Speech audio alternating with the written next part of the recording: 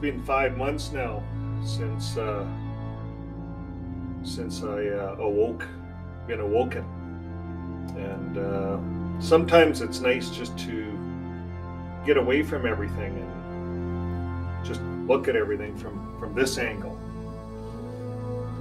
You know, when I when I look out at my uh, previous life, I can see a lot. And but in this last month, um, being awoken has allowed me to to go further, to look at other religions, and to explore atheism. Uh, what if the Bible's a myth? All of these things.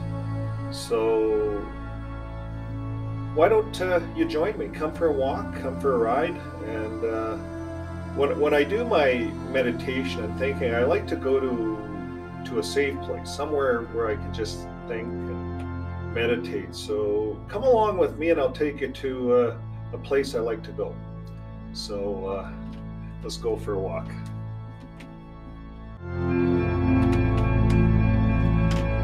Now we're going to take a little uh, ride on my spaceship. Transfer at Nostrand Avenue for the B44 bus.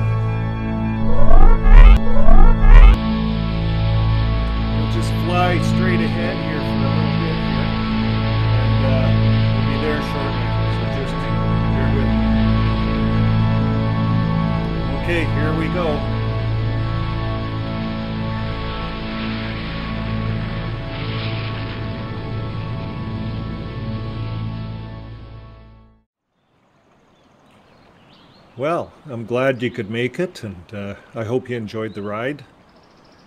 You know, sometimes when we uh, when we think about it, doesn't it just feel like we're in some big fishbowl and someone's watching us, kind of like the Truman Show? You know, it just feels like that, and uh, it feels like we're on this journey, and we're we're in this body, and uh, we we're just going to enjoy this ride while while we're here. So uh, while we're doing that, uh, I thought the first thing I would reflect on is uh, what we discussed last last time, and uh, that was on identifying that the Jehovah's Witness religion is in fact a cult. And so I brought cult up again, uh, a system of religious veneration and devotion directed towards a particular figure or object or a relatively small group of people having religious beliefs or practices regarded by others as strange or sinister.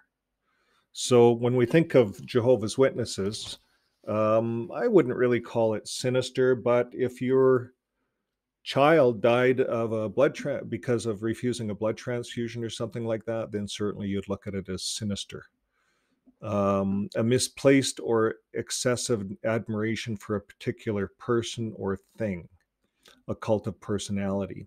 So sometimes cults could be uh, a rock star, could be a, a, hockey team, or or a figure. Um, with the Jehovah's Witnesses, the cult figures are the governing body, the eight figures that represent the governing body. So they would be the cult members of the Jehovah's Witness religion that uh, all the members follow because uh, they don't follow the Bible. That's why we there's a lot of us outside and we're looking in. Just like uh, when I started out the video, it's like we're looking in on things, and once we get outside of of uh, religion, and that and that's what what I had to do is just get right outside of it, and then then look back in. And so what I um, came to realize when we look at cult, we go over to the definition of religion. It's not that much different Religion, the belief and worship in a superhuman controlling power, especially a personal God or gods. Ideas about the relationship between science and religion. So, a particular system of faith and worship, uh, a pursuit or interest to which someone ascribes supreme importance. So, this is sounds to me like a cult. It's it's very close, uh, worshiping a superhuman condition. So, cults worship people, um, ideas, uh, something super than them. So it's very similar to a religion. So I, I, got outside of it and I started looking at all the various religions, and they're all cults. They all are cults. In fact, we could look at uh, Jesus and say that he is a cult leader and he started a way of things. And then Christianity is a fo- cult following of Christ Jesus. Uh, all the religions are, are cult followings of something. And then on earth, uh, if we're outside of religion, maybe we call ourselves atheist, but we follow something. Maybe we follow science. Maybe we're a cult follower of a certain scientist that we really like. Uh, maybe we, we're cult followers of a lot of different things, of TV shows. So the list goes on. Uh, it's interesting once we get out and we look in what we see. So I want to show you what I did in the last month. I'm going to take you right to my channel. And when you come into my channel, uh, you'll it'll bring you right into the home screen and it automatically comes in with this little video. You can just pause that. And I'm just going to click videos.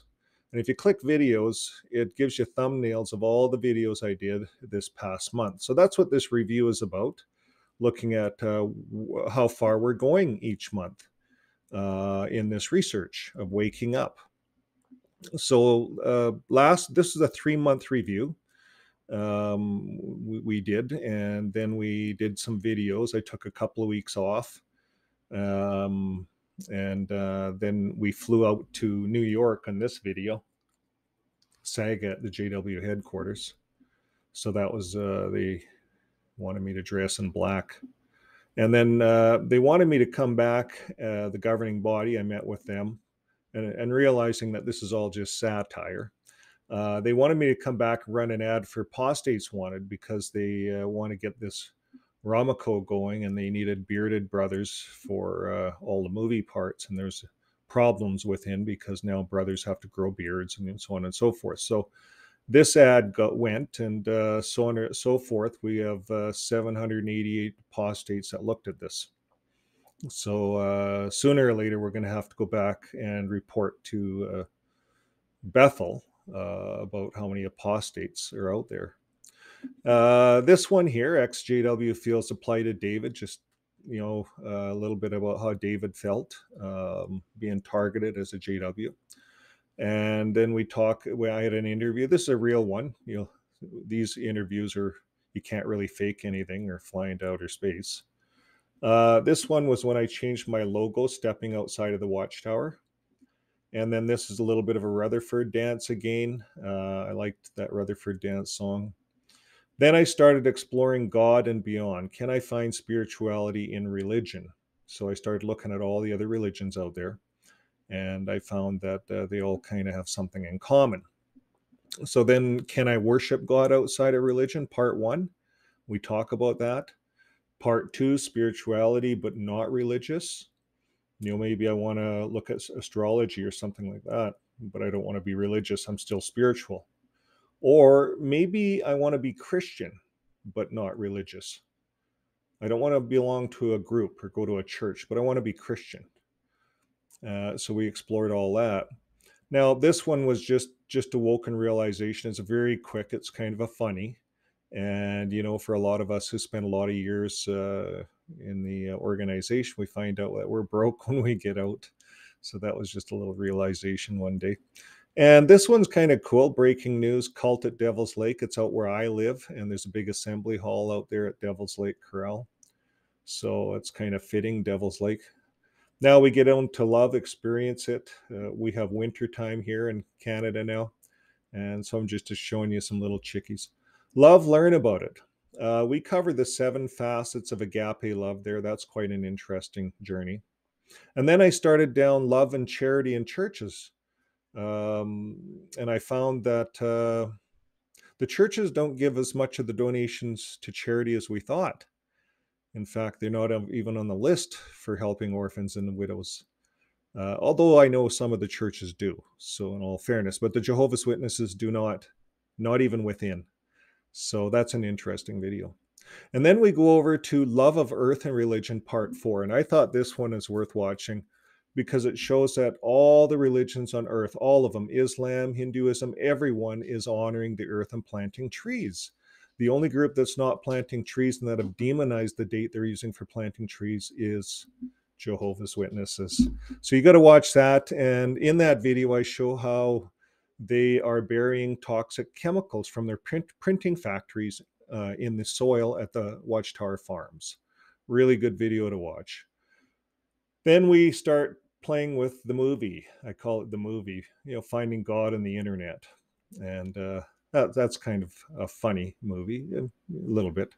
Uh, JW Org Remembrance Day, lest we forget. Well, JW Org has forgotten. Um, that's an interesting video to look at as well. I gave it all to the Watchtower. That's my little poetry ones, just you know, expressing how I'm feeling. And this is another one. Uh, I did dedicate this to all the XJWs, another little poem, and uh, that's quite a nice video. So that brings us to today. Now, I wanted to. Uh, so so over the next month, we're going to be exploring a few things, and I'm going to show you that in a second here. But I also wanted to show you Patreon because at Patreon here, uh, like this poem here um, on this last video, you can go to Patreon and you don't have to pay to go to my Patreon site. Uh, you just come right into my site, and you can see the poetry. So there's that that video, and, and it's bigger thumbnails. Some people like the uh, the drivers better. So for instance, here it takes strength just now. And uh, so we'll load that one up. And there's that whole poem there. So you can take a look at it. And, and you don't have to pay to get into uh, Patreon to, uh, to view this. I, I make all my stuff public. But if you want to support me and you want to donate, you're more than welcome to. Uh, all creators uh, have a Patreon site, and it's how a lot of the creators pay their expenses. So it's like anything else. So, but that's not the purpose of this month's review. The purpose is to show you how to get around on my site. And uh, if you want to take a look at my poetry, it's free of charge. I, I invite you to. And to go to Patreon, you do not have to pay. I can make things, I can make it so you pay, but I've made my stuff public. So you don't have to pay. I just, it's easy to host poems and things like that there. So I want to show you where I went next, where I'm going next. And uh, where I'm going next is uh, the Sumerians and the aliens in the Bible. I just plug that in. And when we look back and we start reviewing the Bible and myths, and we start to wonder, well, okay, how far back does the Bible go? Well, the Sumerian tablets go back further, and they're myths and stories. And then there's a story of Gilgamesh, uh, which is quite equal to Noah and the ark. And uh, so I found some of that quite interesting. So I'm going to look at that. And uh, then uh, I've already looked at some of this stuff why the Gospels are myth, according to Richard Carrier, PhD. And uh, he was featured also on some of the XJW sites. So I took a look at his videos. And uh, uh, it's interesting. By the time I was done a day or two of this, uh, I felt like quitting. I felt like an atheist. I felt like, what, what was it all worth? And I actually felt like the Bible was uh, just you know we're all hooped.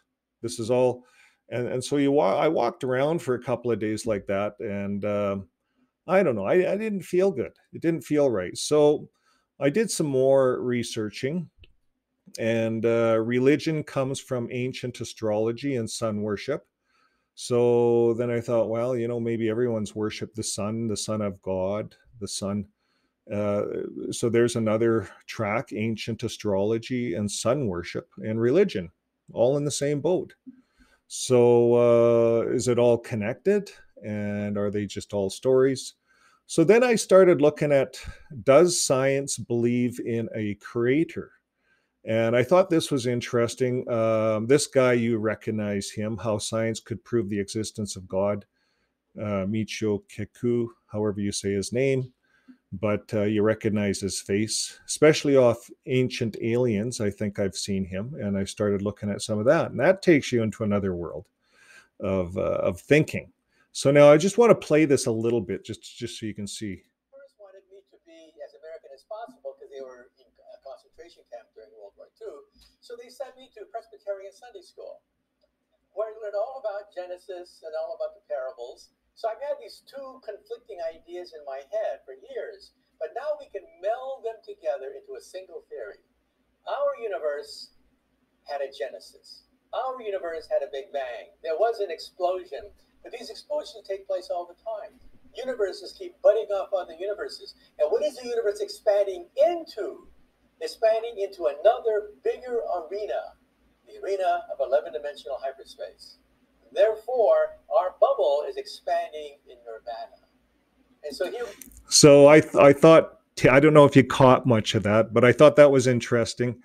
And uh, even the scientists are, are looking at the fact that uh, we had a beginning, we had a creation and uh, there's different sciences there's a string theory and there's the uh, bubble science the duplicate universes and that could all tie in to what the bible talks about because the bible talks about different places uh, heaven and hell different universes perhaps perhaps right here so i think i have a lot to learn if uh, exploring down this the signs of of god that there is a god there is a creator because even a lot of the scientists are realizing that and math uh, is telling them, telling us that there is a creator. So I want to go further, and uh, I want to ask the question because if if we think that there isn't a creator, and I walked around for a few days thinking, I, you know, maybe I have to be an atheist. Uh, then I start asking myself, well, belief is so important, though. Like I think being just believing in nothing is is going backwards, and I, I don't think I can do that because uh, here, here it is. We use beliefs to help us understand the world around us. A person's beliefs will guide them in their decision making and response to situations. Beliefs are usually formed in childhood or any other significant formative experience. So people often ask, um, are, are beliefs important? Well, uh, they can offer a sense of comfort, purpose, connection to others, and this is especially true during challenging times, you know, uh, when someone dies in the family. Uh, beliefs may affect the healing process and improve the quality of life. For some, sharing thoughts and feelings can make adjust, adjusting to cancer easier. So, beliefs can certainly make a difference in, in how our body responds. Uh, here's another one is it, is it important to have a belief? We must believe in ourselves. If we allow doubt to take hold, we will subconsciously sabotage our own efforts. One of the strongest influences acting upon us is the unconscious attraction pulling us to the person we believe we are. So it is important that we hold positive self belief at all times. How does belief affect a person? A Scottish, a Scot learned our belief shapes our thinking, which influences our behavior. When the gap between what we say and what we really do narrows, tough decisions become easier. High stakes situations demand that we make our decisions based on our core values, the intersection of what we believe and how we behave. So let's take this a little further. How do beliefs shape our reality? Your beliefs influence other people's behavior. Your beliefs can shape your reality, not only by influencing your own behavior, but also by influencing other people's behavior towards you, from close relationship partners to complete strangers. And so, my beliefs and how I share my beliefs with you can actually influence you and, and your beliefs. So, uh, our beliefs uh, make a big difference. Do beliefs create feelings? And I thought this was interesting emotions are simply your body's reaction to what you are thinking, whether you're thinking on purpose or not. Your belief system and other unconscious thoughts are happening on the autopilot at all times and often cause emotions. So, yes, our beliefs certainly do uh, shape our thinking. So that's about as far as I went. And uh, I wanted to talk a little bit about the Jehovah's Witness religion and a lot of religions uh, I know when I was in the religion and I had the belief, well, we didn't really look outside the religion, or we were counseled not to, but we believed in what the religion was about. And sometimes that's an easy way to go. It's uh, easy, well, you know, it's in the watchtower. So, you know, it, it, we become lazy in our thinking. But now we get outside of it and we realize, well, all religions are basically the same. Uh, they're all about money uh, very little of them are about charity. And in fact, there's all the big charities in the world are non religious.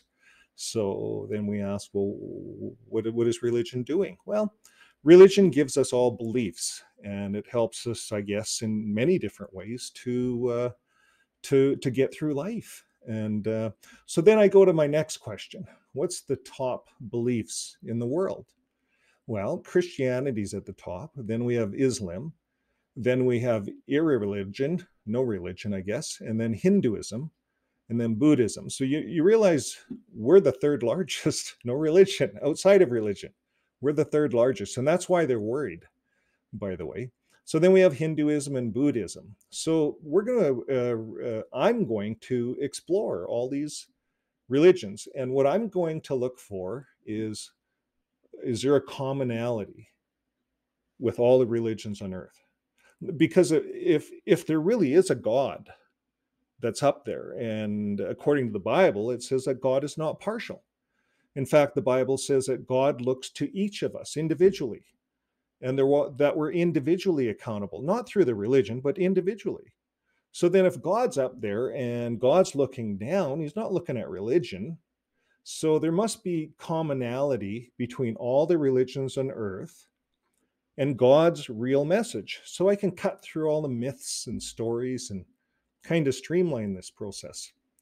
So I go over to uh, my next uh, topic. What do religions have in common? So uh, we'll just leave it at here, this one thing. It says the thing is that all major religions have is the golden rule in common. So we'll explore that, this golden rule, and see what that golden rule is all about on some of our upcoming videos this month. And we'll see how that looks uh, in all these other religions. So the last point I want to leave you with is right here was Jesus a real person?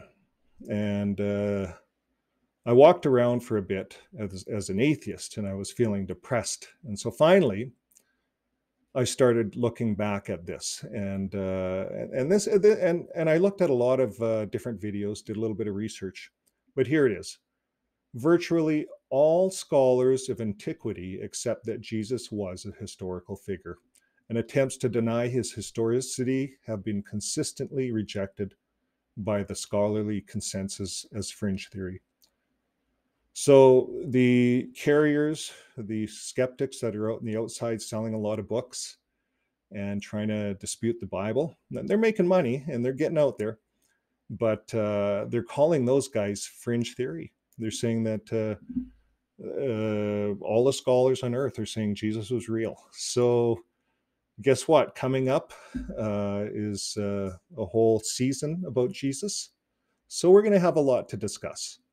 So I invite you, if you haven't subscribed yet, please subscribe and uh, please share my channel with others. This is how us creators can grow our channel, grow our audience, and it makes it all worthwhile. I really enjoy the comments that you guys make. And uh, some days I feel like quitting. I get up in the morning and there you, guys left some comment that just you know makes me want to keep going so uh, soon uh, we, will we'll get enough subscribers so that uh, youtube will fund us a little bit. I don't know how much but uh, uh, it, t- it takes a, lot of hard work to get there. So i really uh, give all those apostates out there a lot of credit because they're working for absolutely nothing. And there's a lot of work that they put into these videos. So i want to give all the apostates a thumbs up and keep up the good work because we need to break apart uh, this religion that we were a part of. We're, we're the experts. We've I've had 30 years in it, and I know a lot of the apostates out there have had longer. And some of the research and uh, the time that these apostates have been online and really helping people, because that's what they are is a help center. And uh, in my opinion, God sent them. God is what's inspiring the apostates to to carry on. And we need more apostates uh, online and sharing their experiences because we see that as this religion crumbles uh, more and more people will uh, need somewhere to go and uh, need some kind of relief. So that's about all i have to say for this month's progress folks. I appreciate all the subscribers uh, but uh, until next time Keep living your life with love. Bye for now.